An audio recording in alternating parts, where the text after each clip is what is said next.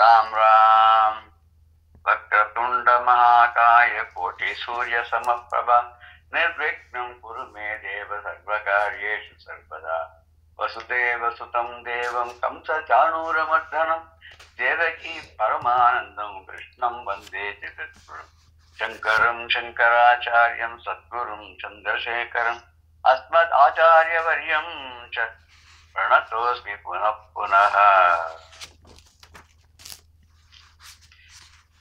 திருவிளையாடல் புராணத்துல நம்ம முதல்ல இப்படி வரிசையா என்ன பார்த்தோம்னா இந்த உலகத்துல எல்லாத்திலையும் அண்டங்களுக்கெல்லாம் அண்டமாகும் பெருசாகவும் அணுக்கெல்லாம் அணுவாகவும் இருக்கக்கூடிய அந்த எம்பெருமானையும் அவனை சார்ந்த அம்பாளையும் முதல்ல துதிச்சார். அதுக்கப்புறம் வந்து சொக்கநாத பெருமாளினா மதுரையில் தானே திருவிளையாடல்கள் நடந்ததுனால மதுரையில் இருக்கக்கூடிய சுவாமிக்கு சொக்கநாதர்னு பேர். சொக்க லிங்கம்னு கூட பேர் வச்சுப்பா சில பேர்லாம். அது அது கூட ஒரு பாட்டு கூட உண்டு. என்னன்னாக்கா ரெண்டு புலவர்கள் அந்த வைகையில குளிச்சுட்டு போது துணியை தப்பு தப்பு நடிச்சிருந்தாவான் அது வந்து அந்த நதியில அடிச்சுன்னு போயிட்டான் கை தவறி. அதான் சொன்னாலும் அந்த மாதிரி தப்பு துணி போயிட்டேன்னா. அதுக்கு இவர் பாடினாராம் நீ தப்பு தப்புன்னு அடிச்சதுனாலும் கையில இருந்து தப்பிச்சு இந்த கந்த துணி ஓடி போயிட்டு இக்கலிங்கம் போனால் என்ன? நமக்கே துணை உண்டு ஏகலிங்கம் தானே. இக்கலிங்கம் போனால் என்ன? ஏகலிங்கம் நமக்கே உண்டு சொக்கலிங்கமே நமக்கு துணையினார் அவர் ம். அது வந்து இந்த கலிங்கம்னா கிழிய துணி. இது போனா என்ன? நமக்கு வந்து அங்க ஒரு ஏகலிங்கம் ஒண்ணு இருக்கு. அப்பெல்லாம் ஒரே ஒரு கோவில் தான் இருக்கும் போல இருக்கு சிவனுக்கு அங்க. அந்த சொக்கநாதர் இருக்கார் சொக்கலிங்கம். அவர் நமக்கு துணையினர். அதனால இங்க இவரும் வந்து அந்த சொக்கநாதர் வந்து தனக்கு துணையாக சொல்லிட்டு சொக்கநாதன் சொன்ன உடனே அடுத்து தடாதகை பிராட்டியார். மீனாட்சிக்கு ஒரிஜினல் பேர் தடாதகை. மலையத்வஜ பாண்டியன் வச்ச பேர் வந்து தடாதகை. அவன் எப்படி மலையத்வஜன்னு அழகா சம்ஸ்கிருதத்துல வச்சிருந்தான். தடாதகைன்னு வந்து தமிழ்ல பெண்ணுக்கு பேர் வச்சான். ஏன்னு தெரியல. அது என்ன காரணம் புரியல ஆஹ் அப்படி தடாதகை பிராட்டியாரையும் வணங்கி அதுக்கப்புறம் என்ன பண்ணான்னா சரி அங்க இருக்கக்கூடிய வெள்ளியம்பலம் கனக சபைங்கிற மாதிரி அங்க வந்து ரஜத சபை. அந்த வெள்ளி அம்பலத்துல வந்து கால் மாறி ஆடிக்கொண்டிருக்கக்கூடிய அந்த நடராஜ பெருமானையும் அப்படியே வணங்கி அவர் எதுக்காக காலை தூக்கினதுக்காக ஒரு சூச்சகமா சொல்லி அந்த ஊர் ராஜா வந்து பெரிய நடன கலையெல்லாம் ரொம்ப சே- கைதேர்ந்தவனா இருந்தான். அவன் வந்து அந்த அதனுடைய நுணுக்கங்கள்லாம் தெரிஞ்சதுனால கால் எவ்வளவு வலிக்கும் தெரியுமா? அதனால நடராஜ பெருமாள்னு ஒரு காலம் எப்ப பார்த்தாலும் இடது பதத்தையே தூக்கி ஆடிட்டு வலது காலை தூக்கி எனக்கா மாற்றிக்கையன்னு சொன்னதுக்காக பண்ணிட்டாருன்னு சொல்லுவா. இன்னொன்னு சொல்லலாம்னு இடது கால்ங்கிறது அம்பாளுடைய கால் ஏன்னா இடப்பக்கத்து அம்பாள் இருக்கிறதுனால அந்த இடது காலை எடுத்தாக்க அந்த உலகமே ஆடி போயிடும்ன்றதுனால இந்த மதுரையும் பதியில மொத்தம் அவர் வலது காலத்துக்கு ஆடினான்னு சொல்லி அப்பேற்பட்டவரை வணங்கினார். அதுக்கப்புறம் வந்து தட்சிணாமூர்த்தியை பத்தி சொன்னார். எப்படி அந்த நாலு முனிவர்கள் வந்து சனக்க சன்னந்தன சனாசன சனத்குமார்கள்லாம் வந்து அவரை வந்து தேடின்னு போய் கண்டுபிடிச்சு ஒரு ஆலமரத்தடியில் அவர் இருந்தார். அவர் கண்ணை மூடிட்டு தபஸ் பண்ணிட்டு ஒரு கட்ட வரலையும் இந்த ஆள் காட்டிய வரலையும் மாத்திரம் ஒன்றா சேர்த்து மிச்சம் மூணு விரலை அப்படியே விட்டுட்டு இந்த மூன்று மலங்களையும் விட்டு இந்த ஜீவாத்மாவானது பரமாத்மாவை சார்ந்து போச்சுன்னு சொன்னாக்க அதுதான் ஜீவன் முக்தி நிலைன்னு காட்டுற மாதிரி இருக்கு அப்படின்னு சொல்லி அவர் சொன்னார். அதையும் நம்ம பார்த்தோம். அதுக்கப்புறம் வந்து சுத்தி வந்தா அங்க சித்தி விநாயகர் அப்படின்னு. எல்லாத்தையும் சித்தி பண்றதுன்னா காரியங்களை சித்தி பண்ணணும்னா செயல் கூட வைக்கிறது அப்படின்னு அர்த்தம். மெட்டீரியலைஸ் பண்ணணும் அப்படிங்கிறது. அதுக்காக சித்தி விநாயகர் பெருமாளை வந்து அவர் வந்து எப்படி தொழணும் அப்படிங்கிறத சொன்னார். அது என்ன பண்ணணுமோ அதை வந்து அன்புங்கிற சங்கிலியை வச்சு அந்த யானையை கட்டினோம்னாக்கா அதை மனசுங்கிற கூடத்துல வச்சு அதை கட்டினோம்னு சொல்லிட்டு அதுக்கப்புறம் வந்து நம்முடைய உணர்வுகள் பாசம் பந்தம் நம்முடைய எண்ணங்கள் அது எல்லாத்தையும் ஒன்னா உருட்டி அதையே அதுக்கு கவலமா ஒரு ஆ- ஒரு ஆனந்தத்தோட நம்ம கொடுத்தோம்னா அந்த யானை ஆகிய அந்த கணபதி மகிழ்ந்து சந்தோஷமா அதை ஏற்றுக்கொண்டு அதை சாப்பிட்டுட்டு நமக்கு நல்லதெல்லாம் செய்வார். அப்படியே க- அந்த கருணை கடலாக விளங்கக்கூடிய இந்த யானை முகத்தோன் வந்து நமக்கு வந்து நம் வரக்கூடிய எல்லா தீவினைகளையும் அகற்றி நம்மை காப்பாற்றுவான் அப்படின்னு பார்த்தோம். அதுக்கப்புறம் அண்ணாவை சொன்னா தம்பியை சொல்லணுமானோ அதுக்காக என்ன அடுத்தது முருகனை பத்தியும் சொன்னார். முருகனை பத்தி சொல்லும் போது என்ன பண்ணான்னா அலைக்கடலும் கண்ணகரையில் இருக்கு. அவ்வளவு அலைகளோட போய் திருச்செந்தூர்ல. அந்த அசுரர்களுடைய தலையும் ஒரு கடல் மாதிரி இருக்கு. இந்த ரெண்டையும் அழிச்சார். அது மட்டும் இல்லை அப்படியே அந்த மு- அந்த ஒரு மேகங்கள்லாம் வந்து படியக்கூடிய அந்த கௌச்ச மலையையும் அதே சமயத்தில் தாரகாசுரன்றவனையும் சூரபத்மன்களுடைய அவளுடைய மார்பை மலை போல இருக்கக்கூடிய அவளுடைய மார்பையும் பிறந்தவர்களாம் அனுகிரகம் பண்ணார் அப்படின்றத பார்த்தோம். அதுக்கப்புறம் வந்து அந்த அத்தனை அசுரர்கள் எல்லாம் அழிச்சதுனால அந்த அசுர குல பெண்களுடைய வயிற்றுல எரியக்கூடிய அந்த தாபம் தீயும் அங்க முனிவர்கள் எல்லாம் வந்து அப்பாட அந்த ராட்சசெல்லாம் ஒழிஞ்சான் அப்படின்னு சொல்லி தபஸ் எல்லாம் பண்ண ஆரம்பிச்சு மறுபடியும் யாக யஜ்யங்கள் பண்ண ஆரம்பிக்கும். அதுல எழக்கூடிய தனவும் அது வந்து அப்படியே ஒரு அந்த அந்த ஊர்ல வந்து ரொம்ப இதுவா ரெண்டும் சேர்ந்து ஒரே சமயத்தில் எழுந்தது. அப்பேற்பட்ட ஒரு நிலைக்கு கொண்டு வந்த அந்த முருகனானும் தன் தன்னுடைய கையில தன்னுடைய தாயாரையே வேலாக தாங்கி கொண்டு சக்திதரன் பேரு. சக்தியே அம்பாள் வந்து தன்னுடைய சக்தியெல்லாம் அந்த வேலில் வச்சு இவங்ககிட்ட கொடுத்தாளாம். அந்த சிக்கல்கிற ஊர்ல. அதை வச்சுருந்தா வந்து சூரபத்மன்லாம் அழிச்சான்னு சொல்லி அந்த கதையை நம்ம அப்படி பார்த்தோம். அதுக்கப்புறம் வந்து நம்ம சரஸ்வதியை பத்தி பார்த்தோம். சரஸ்வதியை பத்தி பார்க்கும்போது ஒரு எப்படி தமிழ் சொற்கள்னால பாக்கள்லாம் அமைச்சு அதை கொண்டு போய் வந்து அந்த திருவிளையாடல் புராணமாக பண்ணி அந்த பரஞ்சோதி முனிவரானவர் பரமேஸ்வருடைய அந்த முக்கனுடைய தாளில் சமர்ப்பிக்கிறதுக்காக அம்பாளான சரஸ்வதியுடைய கருணையை வேண்டிக்கிறார். அந்த கருணை மிக்க அந்த சரஸ்வதியானவர் வெள்ளை தாமரை மலர்ல இருக்கார். அந்த தாமரை எப்படி மலர்ந்ததுன்னா வண்டுகள் ஆண் வண்டு பெண் வண்டு ரெண்டும் சேர்ந்து தேன் குடிக்கிறதுக்காக அந்த மொட்டுக்களை எல்லாம் மலரச் செய்தன. அந்த மலர செய்த அப்பேற்பட்ட வெள்ளை தாமரைக்குள்ள தேனோடு கூடிய அந்த தாமரைகளை. அது வந்து காஞ்சி போச்சுன்னா வண்டு வராது. தேன் இருந்தாதான் பூக்கள்லாம் வந்து வாழாத இருக்கும். அந்த நிலையில தான் வண்டுகள்லாம் வரும். தேனீக்கள்லாம் மொய்க்கும் இல்லையா? இது வந்து பிரமரின்னு சொல்லுவா இல்லையா வண்டுக்கு? பிரமரம். சம்- சம்ஸ்கிருதத்துல பிரமரின்னு சொல்லுவோம் அம்பாளுக்கு கூட ஒரு இடத்துல ஸ்ரீசைலத்துல எனக்கு அம்பாளுக்கு பிரமரா அம்பாள்னு பேர். ஏன்னா அந்த பரமேஸ்வரன் அப்படிங்கக்கூடிய அந்த தாமரையை சுற்றி சுற்றி வரலாம் வண்டாக. அதனால பிரம்மராம்பாள்னு பேரு. அந்த இது பிரிங்கிங்கிறது கூட ஒண்ணு இருக்கு இல்லையா? பிரிங்கம்னாலும். அது வண்டு அப்படின்னு நான் நினைக்கிறேன். ஆமா. ஒரு முனிவர் கூட சிவனை மட்டும்தான் இது தியானம் பண்ணுவார் பூஜை பண்ணுவார் ஆச்சரிப்பார் அம்பாளை கண்டா அவருக்கு பிடிக்காது. ஏன்னா தானே தெரியல. அதனால பகவான் என்ன பண்ணாரு அர்த்தநாரீஸ்வரன் நின்னாராம். என்னதான் பண்றா பார்க்கலாம்னு சொல்லிட்டு. அவர் என்ன கழுத்தை குடஞ்சென்று வண்டு ரூபம் எடுத்து கழுத்தை குடஞ்சென்று சிவனுடைய கழுத்தை மாத்திரம் சுத்தி வந்தாராம். அது என்ன காரணத்துக்கா பண்ண அவர் வந்து வண்டு ரூபத்தை சுத்தினால அவர் பெருங்கி முனிவர் அப்படின்னு பேர் உண்டுன்னு ஒரு கதை கூட உண்டு. அப்பேற்பட்ட வெள்ளையான தாமரை மலர்களை வீட்டில் இருக்கக்கூடிய அம்பாளை பற்றி தொழுது நம்ம பார்த்தோம். அதுக்கு அப்புறம் அடுத்ததாக நம்ம இன்னைக்கு பார்க்க இருக்கிறது நந்தி தேவர் எல்லாரையும் சொல்லிட்டு முக்கியமானப்பட்டவர் நந்தி தேவர் அவர் சொல்ல வேண்டாமா? நந்தி இல்லைன்னா பகவானுக்கு வந்து கையும் ஓடாது காலும் ஓடணும். ஏன்னா அவர் தான் ரொம்ப ஒரு ஆப்தமானவர் அவர் தான் அவர் எத்தனை விதமா அந்த நந்தி தேவர் வந்து அவருக்கு ஹெல்ப் பண்றாருன்னா ஒண்ணு ஒரு போற இடத்துக்குலாம் வாகனமா அவர் கூட்டின்னு போறார். இதுல நந்தி தேவர் வேற ரிஷபம் வேறன்னு சொல்றார். சில பேர் சொல்ல இல்ல இல்ல ரிஷபதேவர் நந்தி தேவர் ரெண்டும் ஒண்ணுதான். அவர் வாசல் நின்று சோல்ஜர் மாதிரி வாசல் காப்பார். எப்படி ஸ்ரீவைகுண்டத்துல ஜெய விஜயா இருக்காரோ அதே மாதிரி கைலாசத்தை இவர் ஒத்தகவே வந்து சமாளிக்கிறாராம். அது என்ன பண்ண வரான்னா ரொம்ப நல்லவாளா வந்தா அவர் உள்ள அலோவ் பண்ணாதான் பரமேஸ்வரனை பார்க்க முடியும். அவர் அவர் அலோவ் பண்ணலைன்னு சொன்னால் யாருமே பார்க்க முடியாது. கையில ஒரு பெரம்பு வேற வச்சுருப்பார் நந்தி தேவராக இருக்கக்கூடியவர் அது நான் நினைக்கிறவர் வந்து வாத்தியம் வாசிப்பார் மத்தாளம் வாசிப்பார்.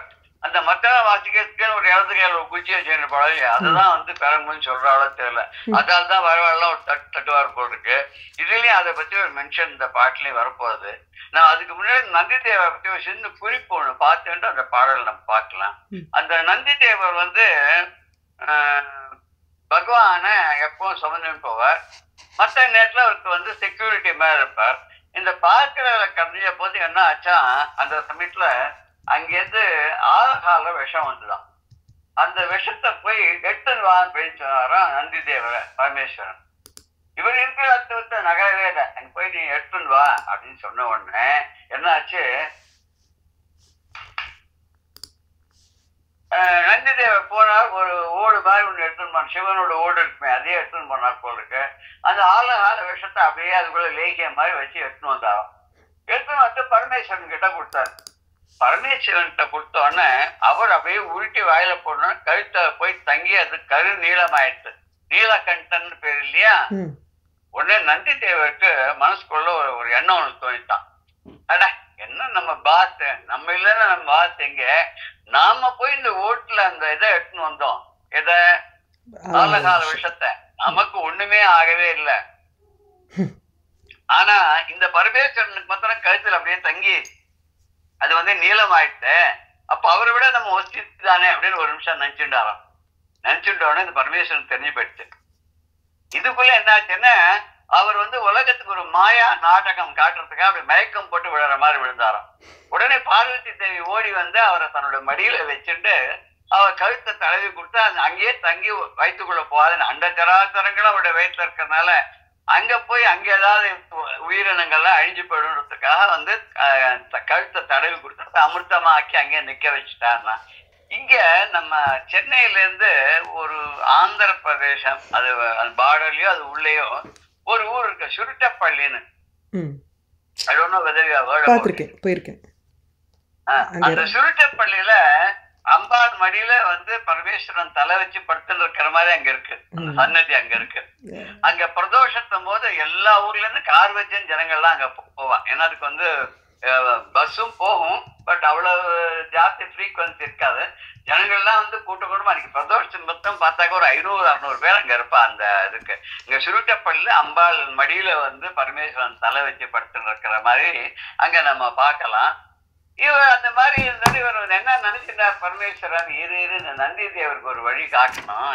இந்த மாதிரிலாம் பண்றானே அப்படின்னு சொல்லிட்டு கொஞ்ச நாள்ல அவர் எழுந்துட்டார் பிரதோஷ காலத்துல இந்த நடந்தது உடனே அவர் எழுந்துட்டார் எழுந்த உடனே ஒரே சந்தோஷம் எல்லாருக்கும். சந்தோஷம் வந்தோடனே என்ன பண்ணுவார்? ஆட ஆரம்பிச்சுவார் ம் இவர் உடனே நர்த்தனம் ஆட ஆரம்பிச்சார். நர்த்தனம் ஆட ஆரம்பிச்ச போது யூஸ்வலா அவர் என்ன பண்ணுவாங்கன்னா பிரதோஷ சமயத்துல வந்து நந்தியினுடைய தலையில ரெண்டு கொம்புக்கும் நடுவில் நின்று ஆடுவாராம். அன்னைக்கு அவர் என்ன பண்ணிட்டார்? இந்த நந்தி தேவரை அப்படியே ஓரம் கட்டிட்டார். ஓரம் கட்டிட்டு அப்படியே மலையில ஆடலாமான்னு நினைக்கும் போது மகாவிஷ்ணுவே வந்து நான் இன்னைக்கு ரிஷபமா வந்து உங்களை தாங்குறேன். அதனால ரிஷபம்ங்கிறது வந்து மகாவிஷ்ணு வந்ததாகவும் நந்தி தேவர் தனி அப்படி ஒரு கதை ஒண்ணு உண்டு. மகாவிஷ்ணு வந்து என்ன பண்ணாருன்னா தான் வந்து ரிஷபமா நிக்க அந்த தலையில வந்து பரமேஸ்வரன் ஆடினார் அப்படின்னு சொல்லி சொல்லுவா. இன்னும் சில பேர் சொல்லுவா அதுக்கு அப்புறம் அந்த ஒரு பிரதோஷத்துக்கு தான் அப்படி பண்ணார். மற்ற பிரதோஷத்துக்குலாம் வந்து இவர் வந்து நந்தி மத்தலாம் வந்து பண்ணுவார். மகாவிஷ்ணு வந்து கூட நின்று அந்த ரசிச்சு பாடுவாராம். மிருதங்க வேற வாச்சின்னு பாட்டெல்லாம் பாடுவார். அதனால சாதாரண பிரதோஷ சமயத்துல வந்து சிவாலயங்கள் எல்லாம் வந்து அபிஷேகங்கள் நடக்கும். சிவனுக்கும் நடக்கும் நந்திக்கும் அபிஷேகம் நடக்கும். ஏன்னா நந்தி வந்து நாராயணனாவும் இருக்கிறதுனால ரிஷப வாகனமா வந்ததுனால அங்கேயே அபிஷேகம் சம காலத்தில் நடக்கும். விஷ்ணு கோயில் எல்லாம் அப்ப வந்து எந்த பூஜையும் இருக்காதாம். பிரதோஷத்தும் போது மாத்திரம். ஏன் இருக்காது இந்த மாசத்துல ரெண்டு பிரதோஷம் வருது ப்ராமினென்ட் அந்த பிரதோஷத்துக்கு தடி திரையோதசி சதுர்தசி வர நேரம். அது இது முடிஞ்சு அதை வர நேரம்னு நினைக்கிறேன். அப்போ வந்து மகாவிஷ்ணுவே இங்க வந்துடுறதுனால மகாவிஷ்ணு இருக்கிற அந்த இடத்துல வந்து அந்த தாயரட்சையில அந்த பூஜை கிடையாது அப்படின்னா இதுக்கு ஏதாவது எக்ஸ எக்ஸம்ஷன் இருக்கான்னா இருக்குன்னு. எங்கன்னா ஆஞ்சநேயர் கோவிலுக்கு இந்த ரூல் அப்ளை ஆகாது. ஆஞ்சநேயருக்கும் நரசிம்ம சுவாமிக்கும் பிரதோஷ வேலையில பூஜை உண்டு. ஏன் அப்படின்னு கேட்டா ரெண்டு பேரும் ருத்ராம்சமா. ஆஞ்சநேய சுவாமியும் ருத்ராம்சமா. இவர் நரசிம்ம சுவாமி ருத்ராம்சம். அவர் வந்து அப்படிதானே மனசில் நினைச்சுட்டாராம் இரண்ய வதம் பண்ண போகும்போது அவருக்கு கோபமே வராதான் மகாவிஷ்ணுக்கு. திருச்சிட்டே எல்லா காரியத்தையும் முடிச்சுட்டு வரான் ஆனா அன்னைக்கு மாத்திரம் ஆக்ரோஷமா வரணுன்றதுக்காக ஸ்ரீருத்தரை நினைச்சிருந்தாராம் மனசுல. நினைச்சு உடனே ருத்ரனுடைய அம்சம் முழுக்க இவர் உடம்புல இறங்கிட்டு இவர் அப்படியே சிங்கம் அப்படி சீரிண்டு வந்தார்.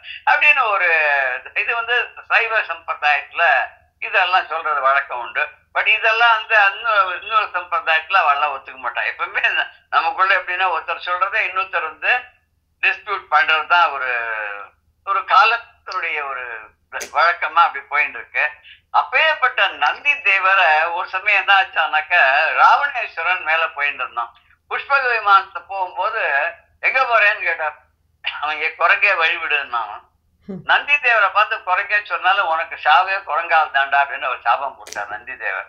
அதுக்கப்புறம் என்ன பண்ணா இவரை தாண்டிட்டு போய் அந்த உள்ள கைலாயங்கிரியில இறங்கிட்டு அங்க வந்து நம்ம இது பண்ண போனோம் சுவாமியை நமஸ்காரம் பண்ணி அவர் அவர்கிட்ட ஏதோ வர வாங்கணும்னு போனா போல இருக்கு இந்த நந்தி தேவர் பண்ண இடைஞ்சதுனால பரமேஸ்வரன் பார்வதி அவர் கண்டுக்கவே இல்லையா? கண்டுக்கவே இல்லைன்னா அவர் பாட்டு ஆடிட்டே இருந்தாராம் உடனே அந்த ராவணன் பார்த்தாராம் இரு உன்னை என்ன பண்றான் பாரு.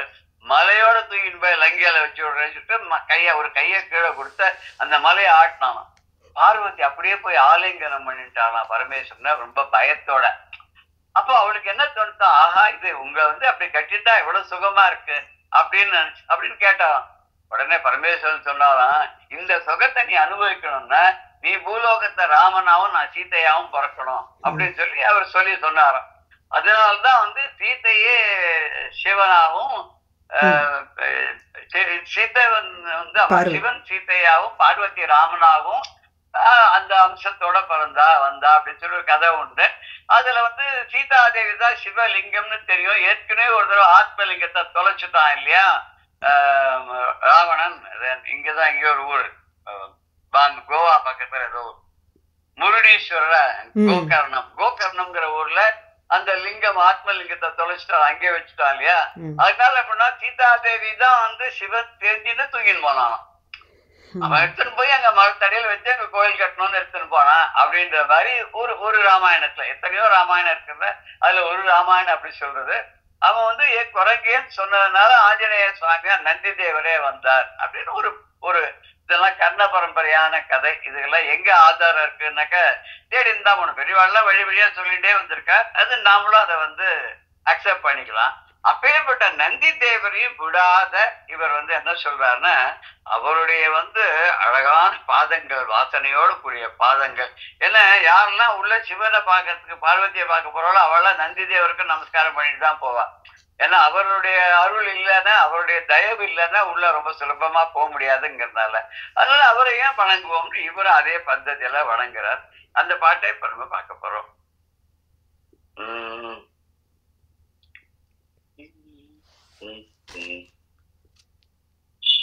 வந்திரை அடி இத் தாழும் வானவர் மகுட கோடி. வந்து இறையடியில் தாழும் வானவர் மகுட கோடி. பந்தியின் மணிகள் சிந்த வேத்திர படையால் தாக்கி அந்தியும் பகலும் தொண்டர் அலகிடும் குப்பையாக்கும் நந்தியம் பெருமான் பாத நகைமலர் முடிமேல் வைப்போம். நந்தியம் பெருமாள் நந்தி தேவருடைய நந்தி பெருமாள் நந்தி என்று சொல்லக்கூடிய அந்த பெருமானுடைய அந்த பெரியவருடைய பாதம் பாதங்களை எப்பேற்பட்ட பாதம்? நகை மலர் அப்படிங்கிறார். நகை மலர்னா ஒரு வா ஒரு ஒளியோடு கூடிய பிரகாசமான ஒரு ஆகர்ஷிக்கக்கூடிய அப்படிப்பட்ட ஒரு மலர் பாதம் இருக்கு. அந்த பாதங்களையும் முடிமேல் வைப்போம்னு நம்முடைய தலை மீது வைத்து தாங்கிக் கொள்வோம் அப்படின்னு சொல்லி அதுல ஆரம்பிச்சு எப்பேற்பட்டவர் சொல்றார். அவருக்கு நந்தி தேவருக்கு ஒரு பழக்கம் உண்டாம். என்ன பழக்கம்னா யார் வந்தாலும் உள்ள போகும்போது நிர்மலமா உள்ள போகணும் அப்படின்றதுக்காக எல்லாருக்கும் முதுகுல கையில இருக்கிற தடியால ஒரு பட்டுன்னு ஒரு அடி கொடுப்பாராம். அடி கொடுத்துதான் அடி தலையிலயோ முதுகுலயோ ஒரு அடி வச்சுதான் உள்ள அனுப்புறான் அவர். ஒரு தண்டனை கொடுத்துதான் அனுப்புறான் ஏன்னா உள்ள போறச்ச சுத்தமா பரிசுத்தமா போகணும் இது மாதிரி ஒரு வழக்கம் பூரி ஜெகநாதர் கோவில்ல உண்டு. அந்த பூரி ஜெகநாதர் கோயில உள்ள போறோம்னா சுவாமி பார்க்க போறச்ச ரெண்டு பெரம்பூச்சி இருப்பான் கையில. அதால எல்லாருக்கும் முதுகுல ஒரு ஒரு அடி கொடுப்பான். ரெண்டு ரெண்டு பெரம்பாலையும் டக்குன்னு ஒரு அடி கொடுப்பான். அது அடி வாங்காத யாரும் போய் பார்த்ததே கிடையாது எப்பேற்பட்ட விரைவாக இருந்தாலும் அவன் அந்த பெரும்பாலும் அடிப்பான். ஒருவேளை விஐபிஎஸ் போனா பெருமை அப்படி குச்சியை வச்சு எடுப்பானோன்னு தெரியாது. பட் எல்லாருக்கும் வந்து இந்த அடியில தப்பவே முடியாது. அங்க அந்த ஊர்ல இன்னொரு விசேஷம் கூட உண்டு. ஒரே நாளைக்கு பத்தாயிரம் பேருக்கு சாப்பாடு போடுவேன் பத்தாயிரமும் அன்னன்னைக்கு பண்ணின மண் கலையத்தில் தான் பிரசாதம் பண்ணுவாளாம். அது வந்து ஒரே தடவை தான் கீழே அடுப்பு வச்சு அது மேல ஒரு அதெல்லாம் ஒண்ணு மேல ஒண்ணு மேல ஒண்ணா ஏழு பானைகள் அடுக்கி அதுல வந்து அவிஸ் இது ப- பண்ணுவாளாம். வேக வைப்பாளாம். அது எப்படிதான் பண்ணுவா எப்படி வந்தாலும் எடுக்க எடுக்க குறையாது. எத்தனை ஜனங்கள் வந்தாலும் அந்த ஊர்ல அன்னதானம் பண்ணுவா. அப்படின்னு சொல்லி ஒரு இன்னைக்கு நடக்கிறது அப்படின்னு சொல்றா பாக்குறவா எல்லாம் சொல்றா. அப்பேற்பட்ட அந்த எப்படி பெரும்பாலும் அடிக்கிற மாதிரி இந்த நந்தி தேவரும் என்ன பண்ண வரவாள்லாம் பெரும்பாலும் அடிப்பார். எப்படி அடிக்கிறான்னு பார்க்கலாமா. இறை அடியில் அதாவது வந்து இறை அடியில்கள்ல இறை அடியில் வந்து அப்படின்னு இருக்கணும். அதுக்கப்புறம் தாழும்னு எடுத்துக்கணும் இங்கேயும் சம்ஸ்கிருதத்துல இருக்கிற மாதிரி இங்கேயும் வந்து அன்வயப்படுத்துறதுக்காக ஒரு வழி வச்சுட்டார். ஒரு எதுக்கான பிராசத்துக்கு வரணுன்றதுக்காக அவ இந்த மாதிரி இலக்கணம் இது அது சொல்றதுங்கிறதுக்காக அப்படி பண்ற வந்து இறை அடியில் இறை அடியில் இறைவனுடைய அந்த பரமேஸ்வரனுடைய திருவடிகளிலே வந்து தாழும் வந்து அவர்களை எல்லாம் வணங்கி கொண்டு நிற்கக்கூடியவர் யாரு அப்படின்னா வானவர்கள். வானவர்னா வானத்தில் இருப்பவர்னா வான் உலகம் சொல்லக்கூடிய துக்கத்துல பூஹு புவஹா சுவஹான்னு வரும்போது பூலோகம். அந்த பூலோகத்துல வந்து நம்மலாம் நரர்கள்லாம் இருக்கும் புவர் லோகம் அங்க வந்து பித்திருக்கள் இருக்கிறதா சொல்ற? அதுக்கப்புறம் சுவர் லோகம்ன்றதா சொர்க்கம் அங்கதான் இந்திராதி தேவர்கள்லாம் அங்க இருக்கா அப்படிங்கிற ஆஹ் இது நிறைய பூஹு புவஹா சுவஹா மகா ஜனஹா தபஹா சத்யம். அப்படின்னு லோகங்கள் மேல சொல்லிட்டே போறபோது இது மூன்றாவது லோகமா இருக்கக்கூடிய அந்த வானுலகம் சொர்க்கம் அது. பித்ருலோகத்தையும் தாண்டி தான் சொர்க்கத்துக்கு போகணும் அப்படிங்கிற நேர சொர்க்கத்துக்கு போக முடியாதான். அங்க ஒரு செக் போஸ்டுக்கு நடுவில் ஒரு இன்டர்மீடியன்ட் டிரான்ஸ்மிஷன் ஏரியா அது. அங்க போய் தான் போகணுங்கிற அந்த அந்த சொர்க்கத்துல இருக்கிறவங்களாம் வான் உலகத்துல வானத்திலே இருக்கக்கூடிய உலகம் நமக்கு மேல பூமிக்கு மேல இருக்குன்னு சொல்றதுனால இந்த வானத்துல இருக்கக்கூடிய அந்த வா- யாருன்னா அதான் வானவர்கள். இங்க நமக்கெல்லாம் வந்து மனுஷ லோகத்துல நமக்கெல்லாம் மாணவர்கள்னு பேர். நமக்கு மாணவர்கள் பேரு தேவர்களுக்கு வானவர்கள் பேரு. இன்னொரு கூட்டம் இருக்கு அவர்களுக்கு தானவர்கள் பேர். வந்திப்பர் உன்னை வானவர் தானவர் ஆனவர்கள் அப்படின்னு அபிராமிப்பட்டர் சொல்றார். அந்த தானவர்கள் நம்ம தா தா எல்லாம் தமிழ்ல ஒரே எழுத்துதான் இல்லையா? ம். அதனால நம்ம தாவ தான்டுவோம் தாவ தான் சொல்லிடுவோம். இங்க வந்து தானவர்கள் அப்படின்னு என்னன்னாக்கா தனு அப்படிங்கிறவருக்கும் காஷ்யபருக்கும் பிறந்தவர்கள்லாம் தானவர்கள். அதுல வந்து ஆதித்யன் முதலானவர்கள் அதித்திக்கு பிறந்தவர் அப்புறம் தித்திக்கு பிறந்தவர்கள்லாம் மத்த அசுரர்கள். இந்த தனு அப்படிங்கிறவளுக்கு பிறந்தவள் சூரபத்மன் கூட தானவர் வர்க்கத்துல வர்றதாக சொல்லுவார் சூரபத்மன் அவனுடைய தாரகாசுரன் அவ எல்லாருமே வந்து அவளுக்கு தானவர்கள் பேர். தனுவுக்கு பிறந்தவர்கள் அதனால தானவர்கள்.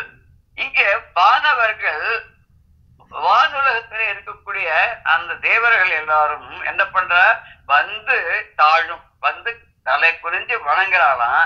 யார்கிட்டனா இறைவன் திருவடியில் அந்த பரமேஸ்வரனுடைய திருவடியில வந்து வணங்குறாளாம். இவர் என்ன பண்றாங்க எல்லாரும் வந்து வரிசையா இருக்க முப்பத்தி கோடி தேவர்கள் இல்லையா? அதனால முப்பத்து முக்கோடி தேவர்களும் வரிசையா நின்று வணங்குறதுனால அவெல்லாம் தலையில ஒருத்தர் கிரீடெல்லாம் வச்சிருக்கான் தேவர்கள்னா அவளுக்கு ஒரு தனி அடையாளம். ராஜாக்கு ஒரு அடையாளங்கிற மாதிரி தேவர்களும் ஒரு அடைய பட்டு பீதாம்பரத்தோட அவ நகைகள்லாம் நிறைய போட்டு தங்கத்துல தலையில வந்து மகுடங்கள் அந்த நவரத்னங்கள் பதித்த மகுடங்கள்லாம் இருக்குமா. இவ எல்லாம் இந்த மகுடத்தோட வந்து அப்படியே வணங்குறாளாம். இந்த மகுடத்தோட வணங்குறன்ற போது ஆதிசங்கர பகவத் பார்த்தவர் சொல்லுவ ஒரு இடத்துல சிவாந்தலகிரின்னு நினைக்கிறேன். நான் எட்டி பார்த்து உன்னுடைய முகத்தை தாமரைய தரிசனம் பண்ணலாம் அப்படின்னு சொன்னா அங்க வந்து இருக்கக்கூடிய முக்கியமான பிரமுகெல்லாம் இருக்கா இல்லையா? தே- இந்திரன் சூரியன் வருணன் வாயு இப்படிப்பட்ட முக்கியமான தேவர்கள். அப்புறம் வந்து விஷ்ணு அதுக்கப்புறம் வந்து அம்பாள் இவா அதுக்கப்புறம் போராதுக்கு வந்து பசங்க வேற ரெண்டு பேரு. இவ எல்லாரும் அப்படி எட்டி எட்டி எப்பி பூச்சி வேற பார்த்து எல்லாம் பண்ணலாம் நான் பின்னாடி நின்று பாக்குறேன் உன் முகமே எனக்கு தெரியல. சரி முகம் தான் தெரியல உன்னோட பாதமா தெரியுமா? குனிஞ்சு பார்க்கறான்னா மத்த தேவர்கள்லாம் உன் காலில் விழுந்து வணங்கிட்டு இருக்கறதுனால அவளுடைய மகுடங்கள்லாம் உன்னுடைய பாதத்தையும் மறைச்சுன்னு இருக்கு இப்படி இருக்கச்ச நான் என்ன பாவம் பண்ணேன்ப்பா? உன்னுடைய பாதத்தையும் பார்க்க முடியல முகத்தாமரையும் பார்க்க முடியல பதத்தாமரையும் பார்க்க முடியலன்னு ஒரு ஸ்லோகம் வரும். சிவாந்தலகில் தான் வருதுன்னு நினைக்கிறேன். உடனே சட்டுன்னு அதை ட்ரேஸ் பண்ண முடியாதனால அந்த கருத்தை மாத்திரம் நான் வந்து ஷேர் பண்ணிட்டு இருக்கேன் அப்பேற்பட்ட அந்த மகுடத்தோட இந்த தேவர்கள்லாம் வணங்கும் போது இவர் வந்து குச்சி வச்சு அடிக்கிறார். குச்சின்னாக்கா அந்த மேளம் வாசிக்கிறதுக்கு வச்சிருக்கிற குச்சியா தான் இருக்கணும் அது. அது அடிக்கும் போது என்ன அர்த்தம் இவ தலையில இருக்கக்கூடிய மகுடத்துல இருக்கக்கூடிய மணிகள்லாம் இருக்கு இல்லையா? நவரத்னங்கள் இருக்கு இல்லையா? அதெல்லாம் செதறி சிந்தி அங்க இருக்கான். சரி அவெல்லாம் வணங்கிட்டு போயிட்டா. வணங்கிட்டு போனத மகுட கோட்டி பந்தியன் பந்தியன்னா பத்தி. பங்கி அப்படின்னு சொல்லுவாங்க சம்ஸ்கிருதத்துல. ம். இது பத்தி. அதாவது அந்த வரிசை அந்த முடி உறுப்பு வரிசைகளிலிருந்து அப்படிங்கிறார். மகுட கோடி பந்தியன். அந்த கோட்டி தேவர்களுடைய மகுடத்திலிருந்து சிந்திய அந்த மணிகள்லாம் இருக்கு இல்லையா? கீழே அப்படியே தெளிச்சு அப்படியே வரிசையா இருக்கு அதெல்லாம். அந்த மணிகள்லாம் சிந்த அந்த தலையில அந்த வரிசையா அந்த மகுடத்துல வச்சுக்கிற ரத்தனங்கள்லாம் உதிர்ந்து கீழே விழுந்து சிந்தி இருக்க அதெல்லாம் என்ன பண்றாளான்னா வேந்திரப்படியால் அப்படின்னு சொன்னா வேந்திரம் அப்படின்னா கையில இருக்கிற பரம்பு. அந்த படையால்னா அந்த அந்த ஆயுதத்தால அதையே ஒரு ஒரு ஒரு படையாக வைத்துக்கொண்டு தாங்கி அடித்து. அது அவளெல்லாம் அவளையும் அடிக்கிறார் அவள் முதுகுலயும் அடிக்கிறார் அது மகுடத்திலயும் அடிக்கிறார். அப்புறம் கீழே இருக்கிற அந்த மணிகளையும் அப்படி ஒரு மாதிரி அடிக்கிற மாதிரி எல்லாத்தையும் ஓரமா தள்ளுறார். தள்ளும் போது என்ன ஆகுது? இது எப்ப நடக்குதுன்னா அந்தியும் பகலும்னா. அகர்நிஷம்னு சொல்றோம் இல்லையா? ராப்பகலா நடக்கிறது? தான் என்ன முப்பத்தி மூணு கோடி தேவர்களை வந்து வணங்கணும் அப்படின்னா அது எவ்வளவு நேரம் ஆகும் இல்லையா? அதனால ராப்பகலா வணங்கிட்டு இருக்கலாம் அதோட தொண்டர்கள் இவா மாத்திரம் இல்ல அவருடைய அடியார்கள் சொல்லக்கூடிய தொண்டர்கள் நாட்கால அவெல்லாம் என்ன பண்றாலாம் அங்க வந்து இந்த அழகிடுதல் அப்படின்னு ஒண்ணு பண்றான். தொண்டர்கள் வந்து என்ன பண்றான்னா அழகிடுதல் அழகு இடும். அவ அந்த ஒரு சின்னதா வேல் மாதிரி ஒண்ணு வச்சிருப்பா வேல் மாதிரி சூளம் மாதிரி வச்சுட்டு கன்னத்துல ஒரு பக்கமா வலத பக்கமா குத்தி இடத பக்கமா அதை எடுத்து ஏதோ பண்ணுவா ரொம்ப ஒரு குரூரமான ஒரு பக்தி அது. அது ஏதோ ஏதாவது வேண்டிட்டு இருப்பா. இது நடந்ததுன்னா நான் அழகு எடுக்கிறேன்பா. இன்னும் சில பேர் அழகு குத்திண்டு அதுல இருந்து ஒரு கயிறை கட்டி ஒரு சின்ன தேர் ஒண்ணு பண்ணி சாமி வச்சு இழுத்துன்னு வருவா இதெல்லாம் ஒரு என்ன சொல்றது? பக்- அது பக்தியிலேயே ரொம்ப ஒரு அபரிமிதமான ஒரு பக்தி. பட் அப்படிலாம் சுவாமி கேட்கிறாருன்னா கேட்கல நீ வந்து உன்னோட அன்பான ஹிருதயத்தை கொடு மலரா கொடு போறோம். உன் கண்ணீரையே ஜலமா கொடு அபிஷேகமா கொடு எனக்கு அது போறோம் நீ என்ன சாப்பிட்றியோ அதெல்லாம் சிவார்ப்பணம்னு சாப்பிடு. அதுவே எனக்கு வந்து அவன் எனக்கு அமுதமா எனக்கு நீ படைக்கக்கூடிய ஒரு உணவாக வந்து எனக்கு சேர்ந்துரும். நைவேத்தியம் வந்து சேர்ந்துரும். அதனால இதுக்காலையும் சமமே பட வேணாம் தான் சொல்ற கிருஷ்ணனும் அதே தான் கீதையில பத்திரம் புஷ்பம் பலம் தோயம். யார் பக்தியோட இதுல வந்து கொடுக்குறானோ அதுவே எனக்கு போறோம் நான் ரொம்ப அன்போட ஆசையோட ஏத்துக்கிறேன்னு சொல்றாரு. ஆனா இங்க இவாள்லாம் என்ன பண்றாங்க தொண்டர்கள்லாம் வந்து அழகிட்டு கொண்டு வந்திருக்கிறாங்களாம். இப்ப இருக்கும்போது அவெல்லாம் வந்து தரிசனம் பண்றதுக்காக இந்த கீழே இருக்கிற அந்த நவரத்தனமே ஓரமா ஒதுக்கும் போது அதெல்லாம் ஒரு பெரிய குப்பை கூடம் மாதிரி இருக்கான். அந்த ஊர்ல குப்பை கூடம் என்ன? இந்த நவரத்தனங்களே குப்பையாம். ஒரு சொல்ற அந்த மாதிரி ஏதாவது ஒரு "ஆ, சரி, போயா அப்படின்னு சொல்ற மாதிரி வேற இருந்தா எனக்கு என்ன குப்பை அப்படின்னு சொல்ற மாதிரி. குப்பைங்கிறது என்ன எதுக்கும் உபயோகப்படாத ஒதுக்கி தள்ளக்கூடிய பொருள்கள். இனி தேவைப்படாது தேவைப்படுத்த மாட்டோம் தேவைக்கு உபாதது அப்படின்னு சொல்லி நம்ம ஒதுக்கிடுறோமா? அதனால தான் இதுக்கு குப்பைன்னு பேரு. இங்க அந்த கைலாச மலையில வந்து இந்த நந்தி தேவர் எல்லாரையும் இந்த பெரும்பாலும் அடிச்சதுனால இந்த தேவர்களுடைய தலையிலிருந்து சிந்தின அந்த மகுடத்திலிருந்து சிந்தின அத்தனை ரத்தனங்களும் அதோட தொண்டர்கள்லாம் அழகிட்டு வந்து தரிசனம் பண்ணிட்டு அதெல்லாம் வேற கேட்டு கேட்டு அங்க போட்டுருவாங்க இது இத்தனையும் சேர்ந்த ஒரு குப்பையா இருக்கான் அந்த குப்பைய ஆகத்துக்கு யாரு காரணம் அப்படின்னு சொன்னா நந்தியம் பெருமாள் தான் காரணமா. இவர் தான் அப்படி அந்த மாதிரி ஒரு இது.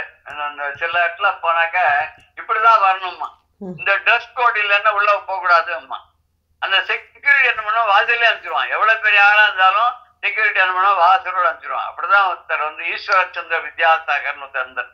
அவர் வந்து அந்த அந்த காலத்துல ஒரு பெரிய ஸ்காலர் அவர் பெங்காலில். அவர் வந்து ஒரு பார்ட்டி கூப்பிட்டு இவர் பாட்டு ஒரு பஞ்சகச்சம் மாதிரி மூலக்கச்சம் ஒன்று கட்டியிருந்த கல்கட்டா சைடில் பெங்காலிஸ்ல ஒரு மாதிரியா பஞ்சகச்சம் கட்டிப்பார். அது பஞ்சகச்சம் இல்லை. அது வந்து நாலு கச்சம் தான் வருமான்னு தெரியாது. அது ஒரு மாதிரியாக இருக்கும். அது ஒரு மாதிரியா இருக்கும். ஆந்திராவில் ஒரு மாதிரியா கட்டிப்பேன் நம்ம ஊரில் ஒரு மாதிரியா கட்டிப்பேன் அந்த ஈஸ்வரச்சந்திர வித்யாசாகர் ஒரு ஒரு சாதாரண ஜிப்பா ஒன்ன போட்டுண்டு ஒரு பஞ்சகச்சம் மாதிரி மூலக்கச்சம் வேஷ்டி கட்டின்னு போனா அந்த செக்யூரிட்டி உள்ள விட மாட்டேன்ட்டான். இதுக்கு ட்ரெஸ் கோட் இருக்கு பேண்ட் சட்டை எல்லாம் போடணும் வந்தா தான் உள்ள விடுவேன் இல்லைன்னா கிடையாதுன்ட்டான் ஆனா அன்னைக்கு அவர் தான் சீஃப் கெஸ்ட் இந்த வெளியில இருக்கிற ஆளுக்கு அவர் தான் தெரியல. என்ன பண்ண நேரா அவர் வீட்டுக்கு திரும்பி போனார். அங்க போய் பேண்ட்டு சட்டை கோட்டு எல்லாத்தையும் போட்டுன்னு ஷூ எல்லாம் பாட்டின்னு வந்தார். அப்போ அப்படியே விட்டான். சல்யூட் அடிச்சு உள்ள விட்டான். உள்ள போச்சு இதெல்லாம் முடிஞ்சது ஃபங்க்ஷன் எல்லாம் முடிஞ்சு பார்ட்டி ஆரம்பிச்சார் பார்ட்டி ஆரம்பிச்சோடனே அவர் உட்காந்துருக்கார் பக்கத்துல கவர்னர் இந்த பக்கம் பெரிய ஆடு எல்லாம் உட்காந்துருக்கார் இவர் என்ன பண்ணாங்க இலையில பரிமாணத்தெல்லாம் எடுத்து எடுத்து தன்னோட கோட் பாக்கெட்ல போண்டாராம். எல்லாருக்கும் ஒரே இது என்னது சார் இப்படி பண்ணிட்டீங்க நீங்க? சாப்பிடறதுக்கு போட்டா அதெல்லாம் உங்க கோட் பாக்கெட்ல உங்களுக்கு தெரியாது என்ன உள்ள விட்டதே இந்த கோட்டு சட்டையினால் தான் நான் வந்த போது என்ன உள்ளவே விடல. என்னோட கோட்டையும் சட்டையும் பார்த்து தான் வந்து என்ன அந்த ட்ரெஸ் கோடு பிரகாரம் என்ன உள்ள விட்டான். அதனால மரியாதை யாருக்குன்னா எனக்கு இல்லை இந்த கோட்டுக்கும் பேண்ட்டுக்கும் தானே. அதனால தான் அதுக்கு போடுறேன்டா அது மாதிரி இங்கேயும் அந்த நந்தி தேவர் ஒரு பிரின்சிபல் வச்சுருக்கேன் இப்படி வந்தால் தான் உள்ள விடுவேன்ற மாதிரி போட்டிருக்கு. தேவர்களை உள்ள விடுறார். அந்த வந்து தொண்டர்கள் எல்லாம் வந்து இந்த அலகிட்டு வந்தா அவளை வந்து உள்ள விடுவார் போல் இருக்கு. அப்பேற்பட்ட ஒரு நிகழ்வுக்கு காரணமாக இருக்கக்கூடிய இந்த நந்தி தேவர் இருக்காரு. அந்த நந்தி தேவருடைய திருப்பாதங்களை ஒளி பொருந்த திருப்பாதங்களை நம்ம முடி மேல வைப்போம்னா நம்மளுடைய தலை மேல சிரத்தின் மேல வைத்து நம்ம வந்து வழிபடுவோம். சிரத்து மேல வச்சுக்கிறது அப்படின்றத நம்ம ஒரு சிம்பாலிக்கா பண்ணுவோம். வைஷ்ணவ அஹ், கோவிலுக்கெல்லாம் போனோம்னா விஷ்ணு கோவிலுக்கெல்லாம் போனாக்க முதல்ல வந்து நமக்கு தீர்த்த பிரசாதம் கொடுப்பா அதுக்கப்புறம் தலையில சடாரின்னு ஒண்ணு வைப்பா ம். அந்த சடாரி வந்து ஒரு மகுடம் மாதிரி இருக்கும். அந்த மகுடத்து மேல ரெண்டு பாதம் இருக்கும். அது என்னன்னா பகவானுடைய திருப்பாதங்கள். அந்த பாதங்களை வந்து நமக்கு சிம்பாலிக்கா அவருடைய திருவடிகளை நம்முடைய தலை மேல வைத்துக் கொள்வது போல அது ஒரு பாவனையா நம்ம வந்து சடாரிய தலையில வச்சுட்டு தலையை குனிஞ்சு அதை ஏத்துக்கணுமா? அதை ஏத்துட்டு அவருடைய பாதத்தை தம்முடைய சிரசு மேல அப்பேற்பட்ட பாக்கியம் யாருக்கு கிடைச்சது? சிரசு மேல நிஜமான பாதத்தை வைக்கக்கூடிய பாக்கியம் வந்து மகாபலிக்கு மட்டும்தான் கிடைச்சது. அது கூட எப்படின்னா அவன் ரொம்ப நல்லவன் அவனுடைய ஆணவத்தை அடக்கணும். எல்லாம் என்னது? நான். எனக்கு இல்லாத எங்கிட்ட சின்னதா மூணு அடி மண்ணு கேக்குறிய? ஒரு ஒரு ராஜ்யத்தை கேளு தரேன் இன்னும் சின்ன பையனா இருக்க உனக்கு அதனால தான் ஒன்றும் புரியல போட்டுக்க உங்க அப்பா அம்மா எல்லாம் சரியா கத்து கொடுக்கல. உனக்கு ஒரு ராஜ்யத்தையே தரேன் நாமங்க ஒண்ணு வேண்டாப்பா. மூணு அடி மண்ணு கொடுன்னா ரெண்டு அடியால வந்து மூவலகம் ஈரடியால் அளந்தான்னு சொல்லி பாதாளம் பூமி வானுலகத்தை எல்லாத்தையும் ஒரே ரெண்டு காலால் அளந்தாச்சு. மிச்சம் இன்னொரு காலம் எங்க வைக்கிறதுனா தலையில வையணும் போது தலையில வச்சு அழுத்தி பாதாள லோகத்தை அனுப்பிச்சாருன்னு சொல்லுவா இல்லையா? அந்த மாதிரி நிஜமான பாதத்தை திருவடியை வந்து தலைமையில் தாங்கி கொண்ட முதல் பக்தன் யாரு அப்படின்னாக்க அது வச்சது மகாவிஷ்ணு. முதல் பக்தன் வந்து மகாபலி. அதுதான் அந்த பலி சக்கரவர்த்திங்க வந்து மகாபலி சக்கரவர்த்தின்னு ஆயிடுச்சு. இன்னைக்கும் வந்து ஒரு சம்பிரதாயம் கேரளால ஒரு எப்ப தெரியுமா? அது ஓணம் பண்டிகை போது மகாபலி வந்து வர்றதாக ஒரு ஐதீகம். வந்து ஊரெல்லாம் பார்க்கறதாக ஒரு ஐதீகம். அது ஏன் கேரளால மொத்தம் பண்றான்னு எனக்கு அது புரியல. அதே மாதிரி கர்நாடகால என்ன பண்ணுவாங்கன்னா தீபாவளிக்கு மறுநாள் வந்து கொண்டாடுவாங்க அதுக்கு பேர் பலி பாட்டியமான்னு பேர். ம். பாட்டிமேன பத்தன சுக்ல பத்தன அமாவாசைக்கு மறுநாள் தீபாவளி அமாவாசைக்கு அடுத்த நாள் வந்து அந்த பத்தனைய வந்து பலி பாட்டியமான்னு கொண்டாடுவான் அன்னைக்கு மகாபலி சக்கரவர்த்தியானவர் வராராம் கர்நாடகால எல்லா ஊர்லயும் போய் எல்லா இடத்தையும் பார்க்கறாராம். அவர் வரும்போது ஊரே விழா கோலமா இருக்கணும் அப்படின்றக்கா எல்லா வீட்லயும் வந்து விளக்கெல்லாம் ஏற்றி வச்சு கலர் லைட் எல்லாம் போட்டு பட்டாசு எல்லாம் வெடிச்சு அவ அங்க ஊர்ல கர்நாடகால தீபாவளி அன்னைக்கு நரக சதுர்த்தி அன்னைக்கு அவளுக்கு அவ்வளவு விசேஷம் கிடையாது. ஏதோ ஒரு சிலர் நம்ம ஊர்ல இருந்து போனவா தான் கொண்டாடுவா.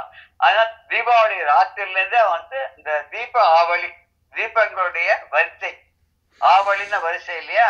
தீப ஆவலி தீபங்களுடைய ஒளி வரிசைய அவ வச்சு அந்த அழகா கொண்டாடுவாங்க தீபாவளி. அன்னைக்கு மகாபலி அங்க வர்றதாக ஒரு ஐதீகம். அப்பேற்பட்ட மகாபலியுடைய தலையில பாதத்தை வச்சு அருள் பண்ணார் மகாவிஷ்ணு. இங்க அதே மாதிரி பரமேஸ்வருடைய பாதத்தை தன்னுடைய தலைமையில வைத்துக்கொண்டு வழிபடுவதற்கு முன்னாடி நந்திகேஸ்வர இது பண்ணி இவர் பரஞ்சோதி முனிவர் என்ன சொல்றாருன்னா அப்பேற்பட்ட நந்தி தேவருடைய பாதங்களை நாம திருவடியில திருவடியை தம் நம்முடைய சிரசு மேல வைத்துக்கொண்டு நம்ம தொழுவோம் ஆனந்தமாக வழங்குவோம் அப்படின்னு சொல்லி சொல்றார். இப்ப பதம் பதமா பார்க்கச்ச இறை அடியில் இறைவனுடைய திருவடிகளில் வந்து தாழும் வந்து தாழ்ந்து வணங்குகின்ற வானவரின் வானுலகத்திலே இருக்கக்கூடிய தேவர்கள் முப்பத்தி மூணு தேவர்களுடைய முப்பத்தி கோடி தேவர்கள். ஆனா இன்னொரு வந்து முப்பத்தி மூணு கோடிங்கிறது தப்பு. முப்பத்தி மூணு தேவர்கள் தான் அப்படின்னு ஒரு சொல்லுவோம் ஆதித்யர்கள் பன்னெண்டு ருத்ரர்கள் பதினொன்னு பதினொன்னு பன்னெண்டும் பதினொன்னும் இருபத்தி மூணு ஏகாதச ருத்ரர்கள். அதுக்கப்புறம் வந்து வசு அஷ்டவசுக்கள். அஷ்ட வசுக்கள் அப்புறம் வந்து அஸ்வினி தேவர்கள் ரெண்டு. இது கூட்டா முப்பத்தி மூணு வரும் ஆமா. முப்பத்தி மூணு பேர் தான். கோடின்னு ஏன் சொன்னான்னா ஏதோ ஒரு கோடியில அவ இருக்கா எங்க இருக்கான்னு தெரியாது. அதனால கோடி முப்பத்தி மூணு கோடி தேவர்கள் கோடியில இருக்கக்கூடிய தேவர்கள். இன்னொன்னு கோடியில ஒருத்தர் தான். எத்தனையோ கோடி நானூறு கோடி ஜனங்கள்ல இந்த முப்பத்தி மூணு பேர் தான் அவங்க போய் இருக்கா இல்லையா தேவர் உலகத்துல. அதனாலே அப்படி சொல்லிருக்கலாங்கிற இன்னொன்னு வந்து கோடின்றது ஒரு மிகைப்படுத்தப்பட்ட ஒரு வார்த்தை அப்படின்னு சொல்லுவோம். ஆயிரம் பேர் வந்தாருன்னா ஆயிரம் பேர் இந்தியா பார்த்தா யாரும் இல்லையே தென்னாலிராம கதையில கூட வரும். அவன் சொல்லுவான் திடீர் நேற்று நேத்து எவ்வளவு காக்கா நம்ம ஊர்ல இருந்தது அப்படின்னா நூத்தி ரெண்டு அப்படிமானோம் மறுநாளைக்கு கேட்டாக்க எண்பத்தி எட்டுமா என்னடா அன்னைக்கு நூத்தி ரெண்டுன்னா இன்னைக்கு எண்பத்தி எட்டுங்குது இல்ல இல்ல அன்னைக்கு சொல்லப்பா நம்ம ஊர்ல நூறு தான் உண்டு. ரெண்டு காக்கா வெளியூர்ல இருந்து வந்திருந்து அதனால நூத்தி ரெண்டுன்னு சொன்னேன். இன்னைக்கு பன்னெண்டு காக்கா வெளில வெடித்து அதனால எண்பத்தி எட்டுன்னு சொன்னேன் அப்படின்பா அது மாதிரி ஒரு நம்பர் ஒரு எக்ஸாஜரேஷனுக்காக கந்த புராணத்துல கூட வரும். என்னன்னாக்க சூரபத்மனை கொல்ல போகும்போது அந்த கடற்கரை எத்தனையோ லட்சம் அசுரர்கள்லாம் இருந்தான். ஆனா இன்னைக்கு திருச்செந்தூர் கடற்கரையில போய் பார்த்தா ஆயிரம் பேர் இருந்தாலும் தாங்க மாட்டேங்கிறது. இந்த சூரசன் பார்க்கும் போது ஆயிரம் பேருக்கு மேல அங்க வந்து அங்க கொள்ளாது அந்த இடம் கொள்ளாது. எக்ஸாஜரேஷன் குருக்ஷேத்திரத்திலே அதே மாதிரிதான். இந்த பதினெட்டு அக்ஷோபணி அஹ், இவாள்லாம் வந்து படைகள் வந்து சண்டை போட்டதுன்னு சொல்லுவா பதினெட்டு அக்ஷோபணின்னு சொன்னாக்க இந்த பக்கம் ஏழு அந்த பக்கம் பதினொன்னு பதினெட்டுன்னா பதினெட்டு லட்சம். ஆனா அந்த ஊர்ல போய் பார்த்தா சின்ன கிராமமா இருக்கும் அந்த ஊர். அதுல எப்படி பதினெட்டு லட்சம் பேர் அந்த காலத்துல இருந்திருப்பா? அந்த பதினெட்டு லட்சம் பேருடைய ஃபேமிலி எவ்வளவு இருந்திருக்கும்? இத்தனை பேர் எப்படி இருந்தா? ஒருவேளை வெளியூர்ல இருந்து வந்திருந்தாளா? வந்திருந்தாருன்னா கூட அந்த அத்தனை பேர் தாங்கக்கூடிய இடம் அங்க எங்க அங்க இருக்கு அப்படின்னு கேட்டா அது ஒரு ஆச்சரியமான ஒரு விஷயம்தான். அது வந்து எக்ஸாஜரேஷன் கவிகளுக்கே எப்பயும் ஒரு எக்ஸாஜரேட் பண்ணக்கூடிய ஒரு லைசன்ஸ் அவளுக்கு உண்டு அனுமதி உண்டு இங்கேயும் வந்து முப்பத்தி முக்கோடி தேவர்களும் வந்து என்ன பண்றாங்கன்னா அந்த வானவர்கள் எல்லாரும் மகுட கோடி பந்தியன் அந்த அவளுடைய சிரசின் மேல அணிந்து கொண்டிருக்கக்கூடிய அந்த அதுக்கு மகுடம் மகுடம் கிரீடம். அந்த கிரீடத்தில் இருக்கக்கூடிய மாணிக்கங்கள்லாம் சிதறும்படியாக வேந்திரப்படையால் தாக்கி இந்த கையில் இருக்கக்கூடிய பெரும்பால அவளெல்லாம் அடிச்சாராம் அடிச்சு அந்தியும் பகலும் இரவும் பகலுமாக தொண்டர்கள் ராப்பகலா இவர் ராப்பகலா அவள் அடிச்சான்னு சொல்லலாம் இல்ல ராப்பகலா வரக்கூடிய கால நேரம் இல்லாத எப்போ வேணாலும் பரமேஸ்வரனை போய் பார்க்கலாம் தொழலாம் அப்படின்னு தொண்டர்கள்லாம் திருத்தொண்டர்கள் அடியார்கள்லாம் அழகிட்டு கொண்டு வருகிறார். அழகு இடும்னா திரு அழகுக்கு அது அந்த ஒரு அழகு குத்தி கொண்டு வந்து சேவை பண்றதுக்காக வரலாம் அந்த அழகெல்லாம் எடுத்து போட்ட இது அந்த மொத்தம் சேர்ந்து எல்லாத்தையும் ஒரு ஓரமா தள்ளும் போது அதெல்லாம் குப்பை கூலமா இருக்கான். அப்படி குப்பையா இருக்கான். இப்படி குப்பையாக பண்றது யாருன்னா இந்த நந்திகேஸ்வரர் தான் பண்ற. அந்த தேவர்களுடைய தலையில இருக்கக்கூடிய மகுடத்திலிருந்து விழுந்த அந்த ரத்தனங்களையும் தொண்டர்கள் அழகு குத்தி கொண்டு வந்து அந்த அழகை அங்க எடுத்து விட்டு பெருமானை செழிக்க வந்த போது அந்த அழகுகளாலும் அந்த ரத்தனங்களாலும் சேர்ந்த அந்த குவியல் இருக்க அந்த குவியலை எல்லாம் குப்பையாக்கும்னு குப்பையா அப்படி ஒதுக்கி இன்னும் வேண்டாம் அப்படின்னு தள்ளக்கூடியதாக அப்பேற்பட்ட ஒரு செய்கையை செய்யக்கூடிய நந்தியம் பெருமான் நம்முடைய திரு நந்தி தேவர் இருக்காரு. அவருடைய பாதம் பாதம்ன்ற திருவடி என்று சொல்லக்கூடிய நகை மலர். நகை மலர்னு பிரகாசமான மலர் போன்று இருக்கக்கூடிய பாதங்களை நம்முடைய முடிமேல் வைப்போம். நம்முடைய சிரசின் மேலே நம்முடைய தலையின் மேலே சூடி நம்ம வழிபடுவோம் அப்படின்னு சொல்லி இந்த பாடல்ல அழகா சொல்லியிருக்கார்.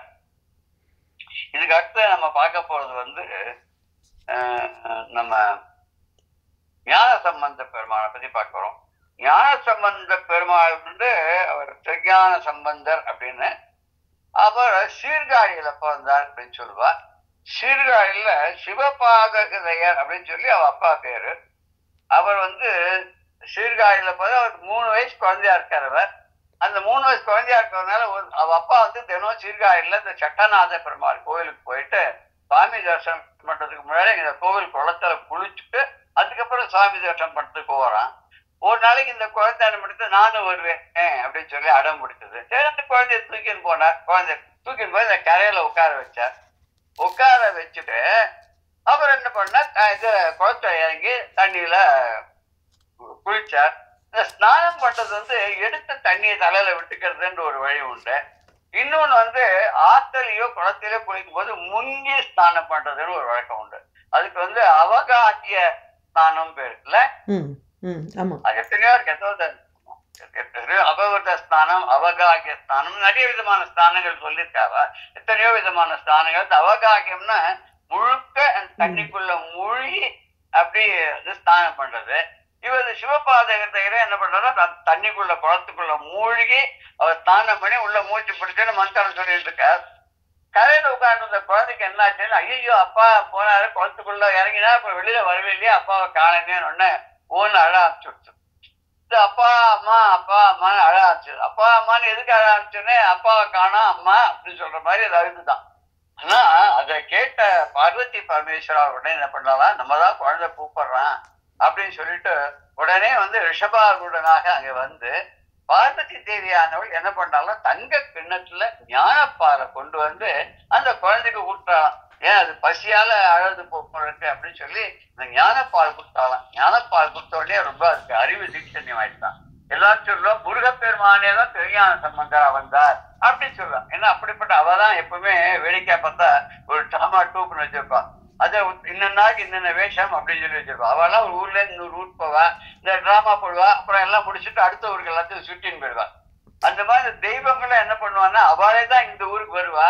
அவ ஒரு ஒரு வேஷம் போட்டுன்னு எப்படி இந்த திருவிளையாடல வரப்போறது என்னது அது மாதிரி ஒரு வேஷத்தை போட்டுப்பா.